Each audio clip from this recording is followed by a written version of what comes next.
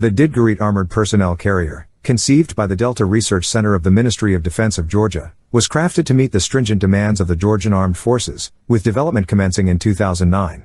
Named in homage to the historic Battle of Didgori, this formidable armored vehicle made its debut on May 18, 2011, amidst the rehearsal for Georgia's Independence Day parade in Tbilisi. As its lineage evolved, two additional variants emerged, the compact Didgori 2 armored scout car and the robust Didgori 3 MRAP boasting a 6x6 configuration. Drawing inspiration from the design prowess of Sviat Sikolia, renowned for his work in sports car design, the Didgori was meticulously crafted following an exhaustive analysis of comparable vehicles, integrating insights gleaned from models such as the Otokar Cobra and Rafael Wolf. Presently, the Didgori stands proudly in service with the Georgian Army, with Azerbaijan also expressing keen interest in acquiring this formidable asset. While specifics regarding the composition of the Didgori's armor remain classified, it is established that it offers protection against 7.62 mm armor-piercing rounds, fortified by a V-shaped hull engineered to mitigate the threats posed by landmines and improvised explosive devices, IEDs, boasting acclaimed resilience to 6 kg mine blasts. The presence of an NBC protection system remains undisclosed, yet developers assert that the overall defensive capabilities of the vehicle exceed the standards outlined in STANAG 4569 Level 2. Versatility is a hallmark of the Didgori, with its rooftop capable of hosting an array of armaments. The standard configuration features a formidable 12.7mm machine gun, though alternative armaments, including various 40mm automatic grenade launchers and anti-tank guided weapon launchers, can be seamlessly integrated.